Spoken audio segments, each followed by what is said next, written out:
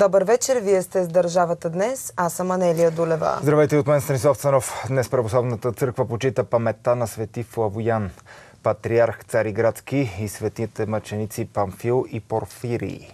Свети Флавиан бил патриарх на Цариград. Той е православен християнин, живял през 5 век след Христа. Флавиан бил явен противник на лъжеучението, проповядвано от свещеника Евтихий, който отричал човешкото в Исус Христос и признавал само божественото. През 448 година Цариградския патриарх свикал събор, на който осъдил делото на Евтихий. На следващата година в Ефес бил свикан така наречения разбойнически събор. На него Флавиан Цариградски бил наклеветен, че внася нови догми в църквата и му бил отнет свещения сан. Настанал голям смут в страната, който завършил с жесток побой над Фалвиан, след което той починал от раните си на 16 февруари.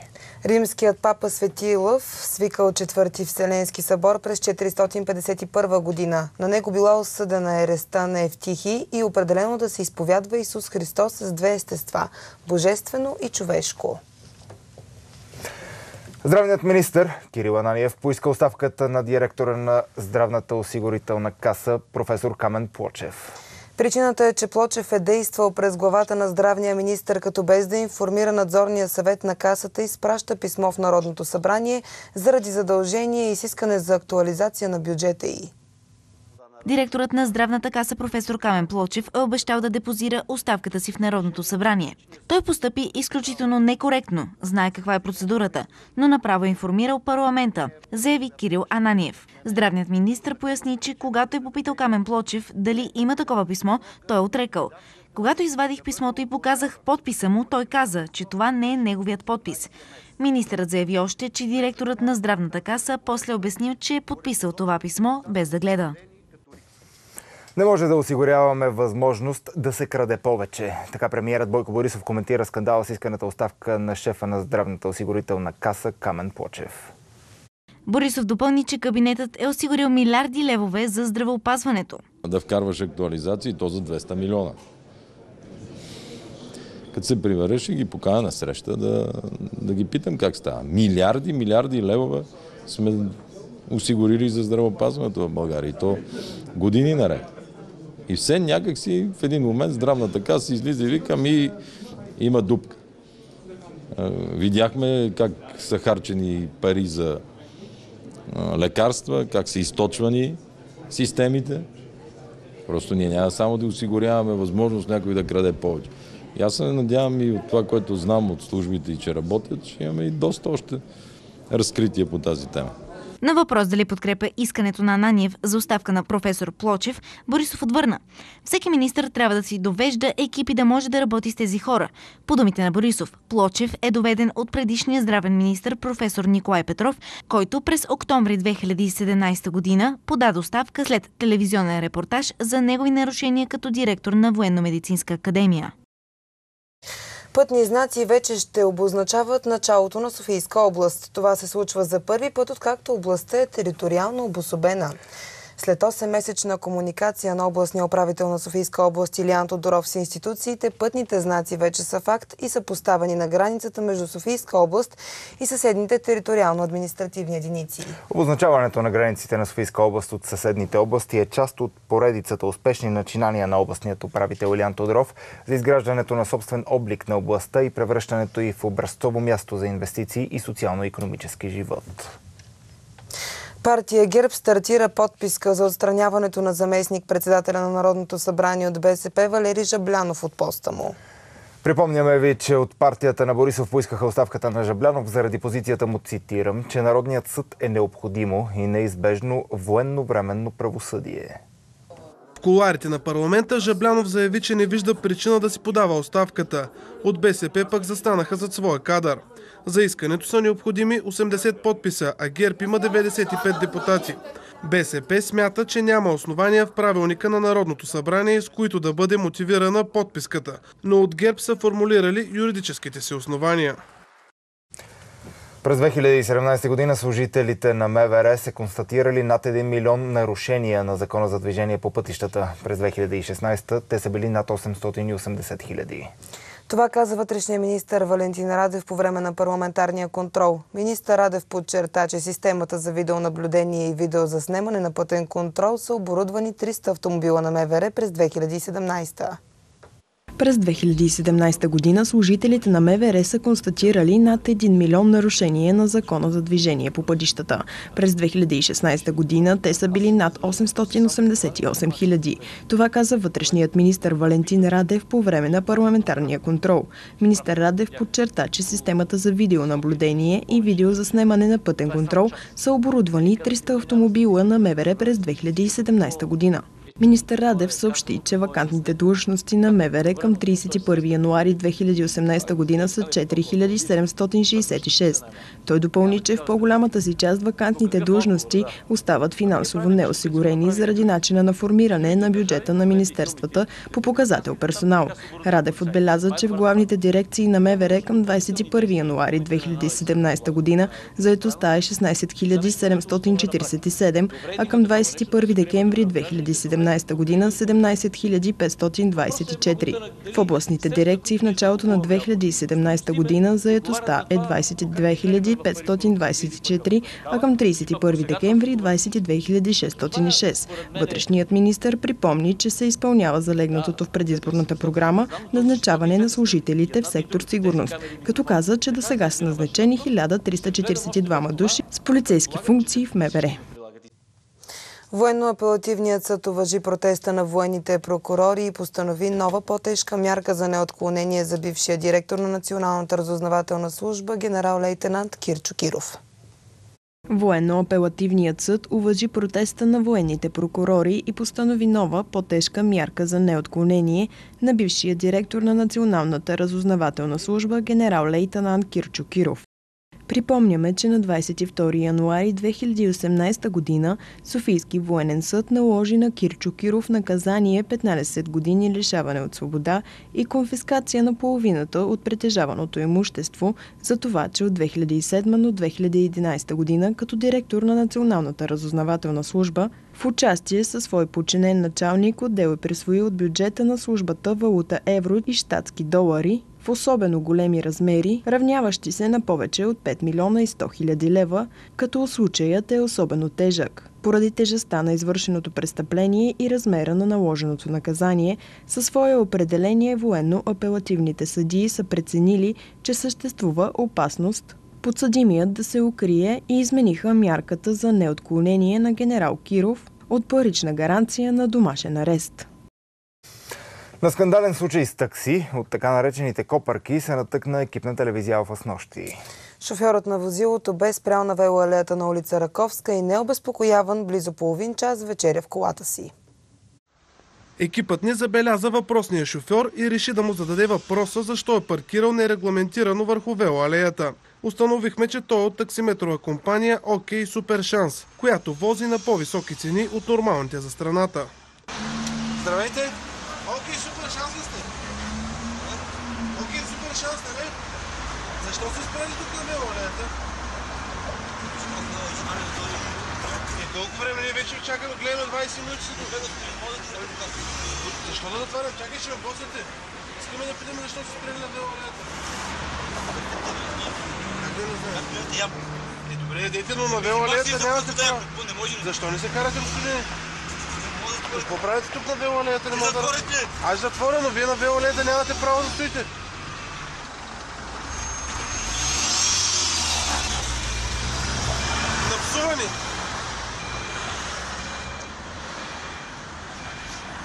Шофьорът сега избяга и ни напсува. Ние го питахме какво прави тук на велоалеята. Съвсем нормален въпрос. Часът е около 19.30, а явно копърките таксиметрови шофьори имат право да спират на велоалеята и да се хранят а другите хора трябва да спазват правилата вместо тях. От началото на тази година автомобилната инспекция състави 150 акта на таксиметрови шофьори, които са познати като копърки. Проверяващите са открили множество нарушения, сред които и използването на помпички, които надуват сметките на клиентите. От 2000 до 6000 лева е глобата за шофьорите, които са хванати без документи и лицензи, а за наличие на техническо устройство от типа помпа фирмите отнасят от 500 до 3000 лева. Освобождават се 1438 квадратни метра площ от ивицата на морски плащ Слънчев бряг Север, заети от бетонни елементи на игрища за мини-голф. Игрището е сред незаконните обекти, съборени при разчистването на ивицата от новия наемател, който продължава стрикно да спазва поетите ангажименти и задълженията си дори по договор. Приемането на нелегитимираните постройки, е, примахването е част от подготвителните дейности преди началото на предстоящия летен сезон. Планира се през следващите месеци да бъдат проведени срещи на местно ниво за обсъждане на готовността за сезона. Преди старта на лято на 2018 ще се направят и инспекции, в които да участват както експерти от Министерство на туризма, така и от всички останали контролни органи. Министъра на туризма Николина Ангелкова направи инспекция на място в края на миналата седмица, за да провери как върви събарянето на незаконните обекти. Тогава бе установено, че повече от 190 незаконни постройки са премахнати. Всички нерегламентирани обекти трябва да бъдат съборени и плажът да е разчистен до средата на май, когато влиза в сила забрана за строителство по курортите. През 2016 година беше прекратен договорът с концесионера на плащ Слънчев бряг Север заради разполагането на обекти с площ надвишаваща 8000 квадратни метра, одобрената от министъра на туризма схема. В столичния квартал Павлово ще бъде разположен мобилен пункт за опасни отпадъци. Обектът ще бъде поставен пред районна администрация Витуша, съобщи Българското национално радио. Целта на тази система е тези отпадъци да не попадат в контейнерите за битови отпадъци, както и във всички други разположени в града. За това вече шеста поредна година столична община има организирана такава система, сключен договор с фирма, на която е възложено да се събира този вид отпадъци от домакинствата, коментира Татяна Асенова от столичният инспекторат.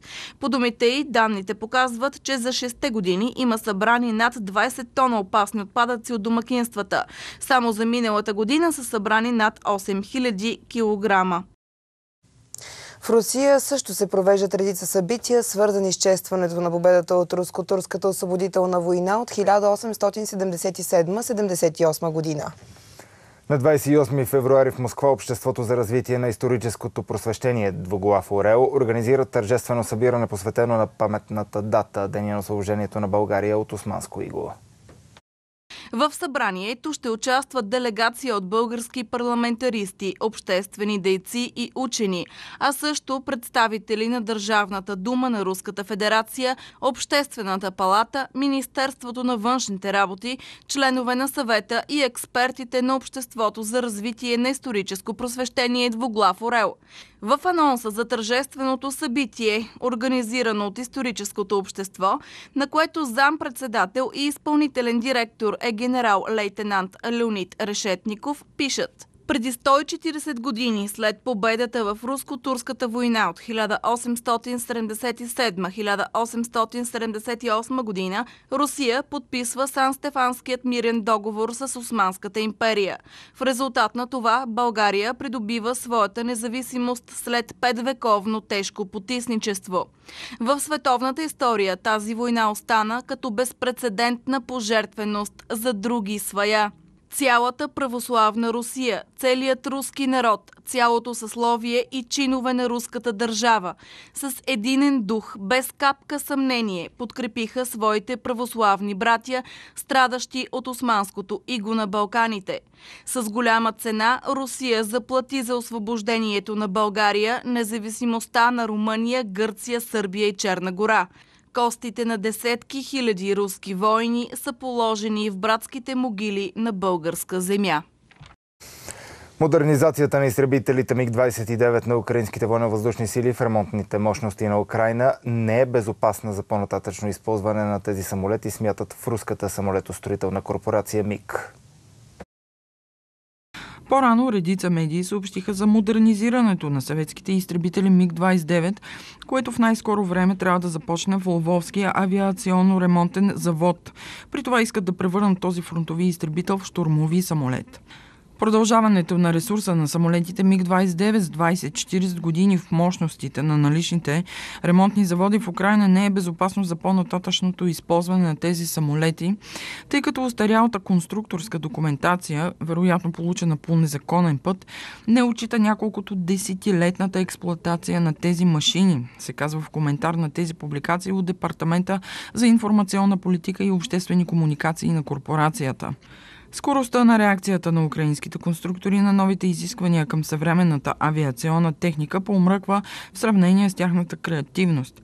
Докато водещите световни авиационни строителни компании работят над максималната многофункционалност, украинският отбранително-промишлен комплекс избра альтернативен път на развитие да направи от един добър изтребител посредствен штурмови самолет, отбелязаха още в МИГ. Оттам добавят, че както показва практиката, страни, преживели модернизация на авиационната техника в украински предприятия, по-късно се обръщат към компанията, разработила проекта за помощ и официално продължаване на ресурса.